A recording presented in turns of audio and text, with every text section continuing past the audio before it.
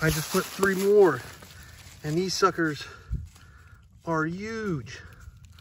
Look at the size of these suckers. God damn. Man.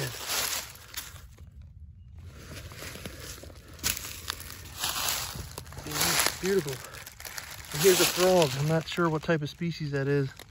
I'm not good with my frogs. I'm gonna have to look that up. But look at those three. And the frog. Man, they're huge. So I just placed these on uh, some moss right beside where I flipped them. I'm gonna put these guys back.